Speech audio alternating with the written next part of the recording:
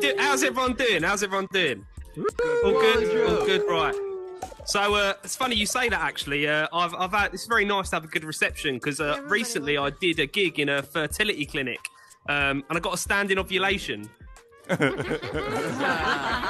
right. But that wasn't the worst part, right? So recently, I went to bed after that, and I had a dream. Uh, I had a dream last night that I was uh, cutting carrots with the Grim Reaper.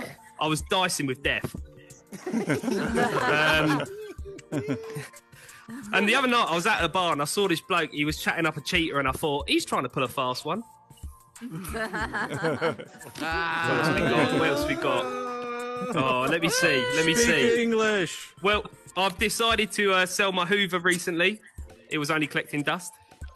there we go. Speak, speak English. I never knew the. So the other day, uh, I parked my car and somebody actually complimented me on my driving. Um, they left a little note on the windscreen. It said "parking fine." That was nice.